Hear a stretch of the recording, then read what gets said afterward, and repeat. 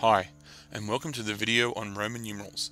By the end of this video, you should be able to read and write using Roman numerals. Here we have the Roman numerals number system.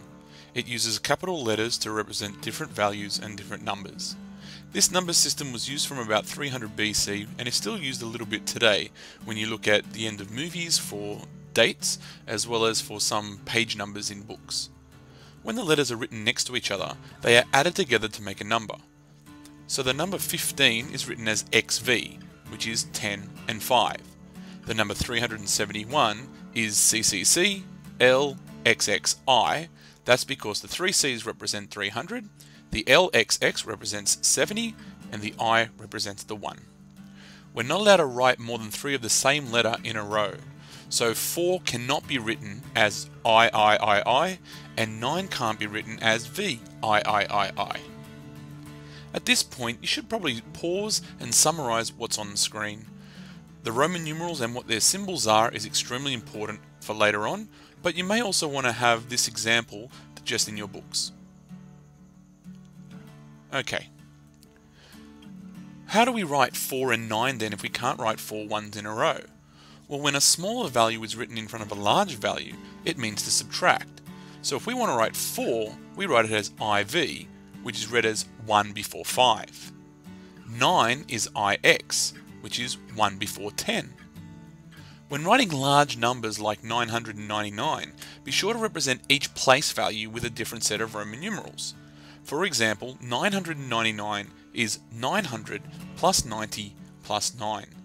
This in Roman numerals is cm for the 900, which is 100 before 1000, xc for 90, which is 10 before 100, and ix, which is 1 before 10. Another chance for you to summarize now.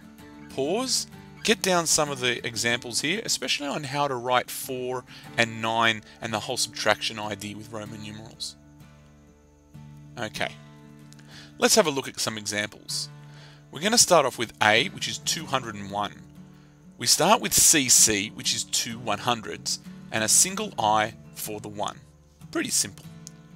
19 is a little bit more tricky. We start off with an X, which represents 10, but then we need to represent 9.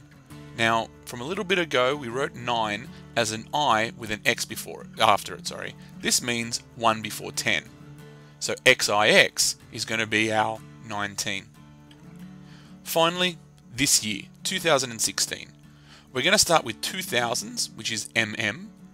Then we don't have any hundreds, so we go and look at for the 10, which is going to be an X, followed by a combination of V's and I's, which is just IV, 2116. Now would be a good time to summarize and write these examples down. You might want to try writing some of your own and writing them, the answers in Roman numerals. Okay, Last one. Let's have a look at writing some Roman numerals in our own number system. Here we have LVIII. We start off by looking at the L, which represents 50. The V, which comes after it, is smaller, so we're not going to have to do any subtraction.